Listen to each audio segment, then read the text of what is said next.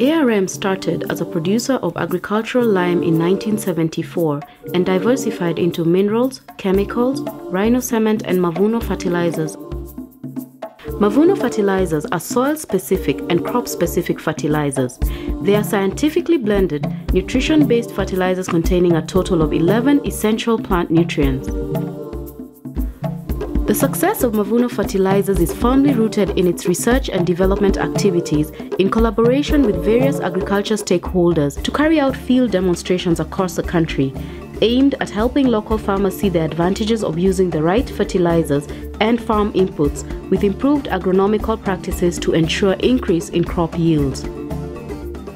Mavuno is one of the fertilizers that not only contains, uh, you know, the soil nutrients uh, that are missing, like nitrogen, but it also has calcium, which is able to improve uh, the pH in the soil. ARM Mavuno have partnered with Crop Nuts, a soil testing laboratory. Our partnership with Crop Nuts provides farmers with regular soil testing an essential tool used to determine the correct amount of nutrients to balance soil conditions for higher yields. ARM Mavuno, they have come up with a uh, specific formula for maize.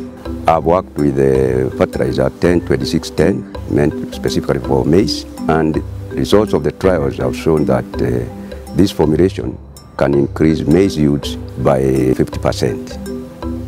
Mavuno has proven to be one of the uh, best fertilizers actually where farmers can actually you know double their yield in some cases triple their yield. Kwa hii shamba natumia mbolea ya Mavuno na Mavuno Top Dress na tumeweza kupata hii Mavuno Top Dress na wenzangu hapa pia tumetumia na tunaona ya kwamba tuna matumaini ya kuwa na mazao mengi. Farmers can actually improve their productivity by using the Mavuno fertilizer, which is not only nanacidifying but has a higher level of nutrients.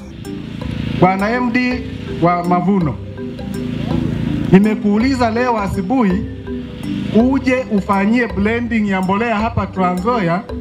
Kenya faces an enormous soil fertility problem. However, Mavuno Fertilizers, now officially recognized by the government of Kenya, has proven to reduce soil acidity and increase crop yields throughout the country.